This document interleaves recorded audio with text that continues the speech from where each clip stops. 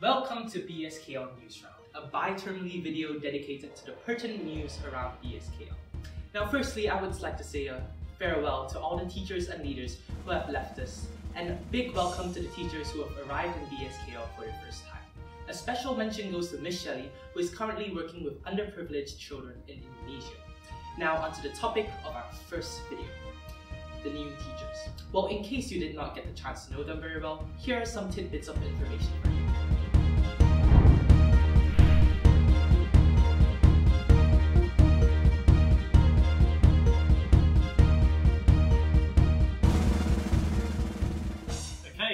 BSKL. So, what makes a good student? Um, for me, it's someone who cares, is highly motivated and organised. Um, in my experience, if students have these qualities, pretty much everything else falls into place. All right, great question. The best thing about being a teacher? Probably twofold for me. Firstly, it allows me every day to teach a subject that I love, which is English. And secondly, I think what's really special, as cliched as it sounds, is seeing those light bulb moments from students, those moments where they just get it and are really passionate about the subject. Thank you. My gut is saying to go for England. Um, have unfortunately there's this dodgy part of the country, sort of north of the M4. Um, they call it the North. You might notice a few teachers uh, from that part of the country. So I'm going to not go there. I'm going to go for. I'm going to invade New Zealand. It's a good question. I think of a lot. I wouldn't mind going back to the Black Death. I obviously don't want to have the Black Death, but I want to see what it was like.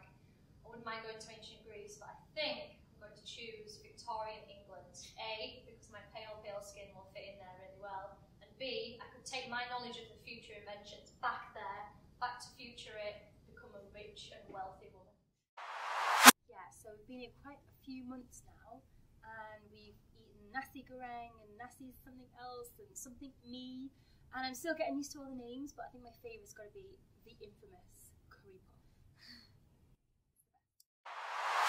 thing about being a school counsellor is that due to the number of students, I only tend to meet most students once a week. So sometimes when they've left, um, especially if they've been upset or distressed, um, I'm thinking about them and wondering how they're getting on um, once they've left my room and knowing I won't see them until the next week. Yeah, we're going to do like loads of really fun experiments this year. Um, we're going to dissect a whole frog in Dissection Club, so come along. Um, and I'm trying to think, this week we did uh, sampling uh, microorganisms that grow in year 10's belly buttons. So that was quite weird, quite gross.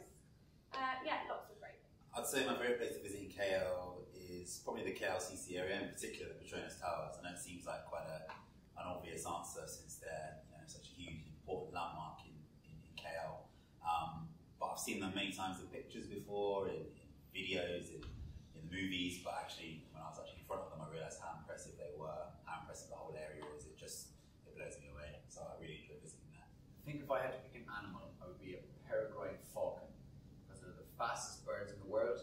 You'd be able to fly everybody everywhere, and you'd be able to like, rain death upon any animal that was below you.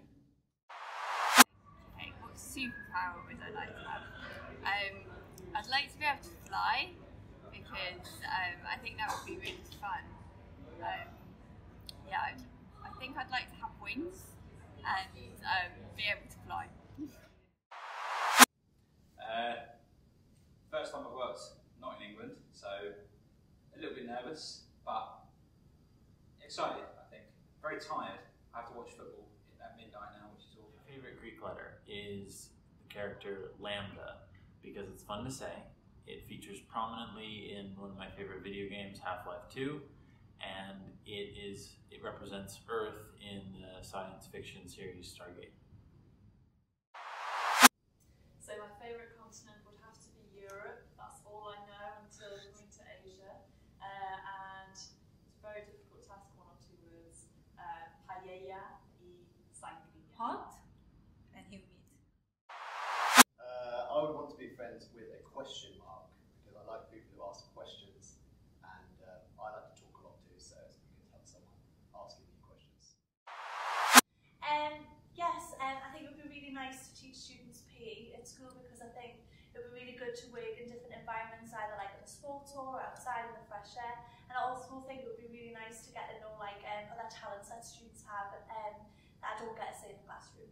If I had to, I would try and describe it as a mix of when it's dark, if they can see the blackness of behind their eyelids, and then if they can see light when someone shines a light into their eyes, and you were to mix that together, then that might be approximately what yellow would be like. That's what I would say. Uh, thank you for asking me this question. Uh, my favorite art medium at the moment now is probably printmaking. I had many, uh, many media that I liked before, photography, painting, but at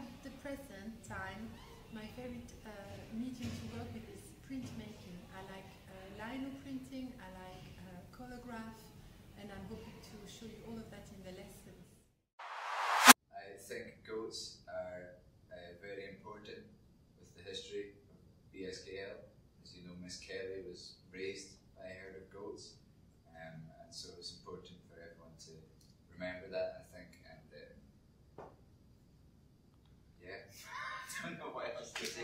I think KL is a complicated, concrete catastrophe. Okay, should I listen to Pachelbel's Canon or The Four Seasons? I think for an hour, much as I love Pachelbel's Canon, it's repetitive enough, and doing it for an hour might be like some sort of emotional torture, I think. Um, so, yeah, got to opt for The Four Seasons, which has got much more variety. As a player, probably around 30 sets, and as a teacher, uh, I'd say a good 40 sets, maybe, maybe even 50 since I've been here.